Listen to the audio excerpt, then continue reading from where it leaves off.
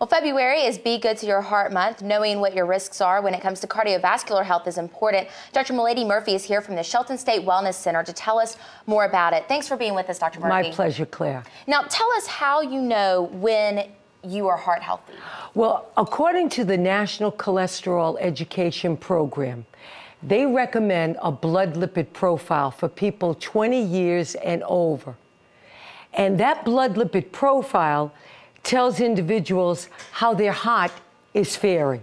How do you get a blood lipid profile? Well, first of all, your physician will order it for okay. you.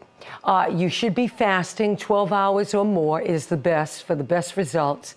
And they take your blood, and what is measured is your total cholesterol, your good cholesterol, your bad cholesterol, and triglycerides.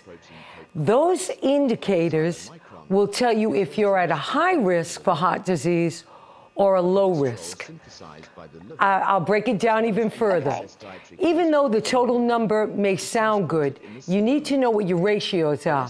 So that HDL, which is the good cholesterol, for women, it should be 50 or higher. Okay. For men, it should be 40 or higher. Okay.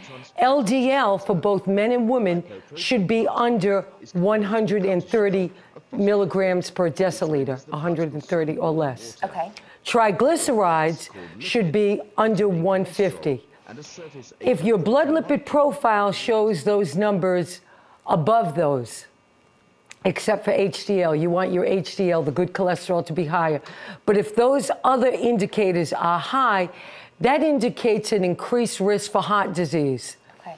When those indicators are in there, your physician may recommend strict lifestyle changes mm-hmm. and or certain drugs like statin drugs. Those target the bad cholesterol and triglycerides to lower your risk factor to heart disease.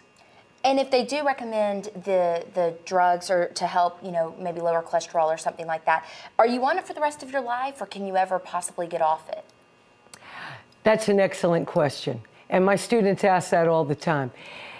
For some people who have what is called hyperlipidemia or an inability to rid their body of cholesterol, their physician may have them on drugs the rest of their life. Okay.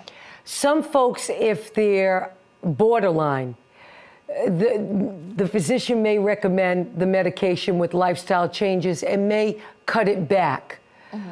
But nine times out of 10, if the physician puts you on a statin medication, with lifestyle changes, you're on it the rest of your life. But the good news is, with those positive lifestyle changes, you may not be on as much okay. of the medication, thereby not experiencing those side effects of the medication. And the recommendation is to get your first blood um, lipid profile done at the age of 20?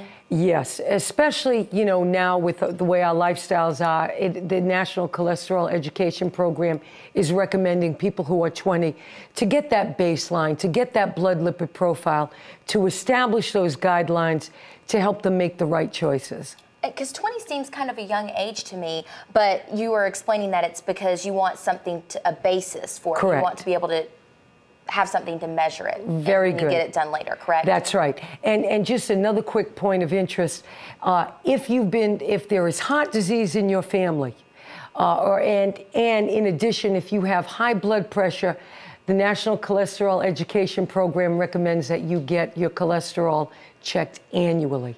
Okay, great information there, Dr. Murphy. My Thank pleasure. you for being with us. Always.